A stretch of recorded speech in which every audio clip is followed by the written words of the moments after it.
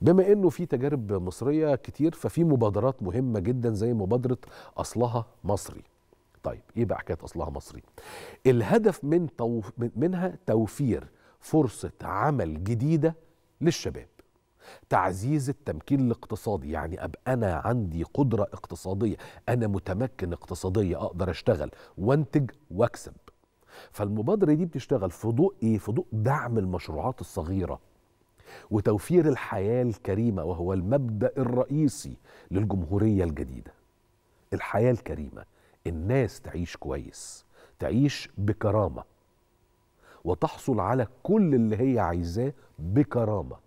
وجه الرئيس السيسي بتوفير فرص عمل جديدة في إطار هذه المبادرة. أصلها مصري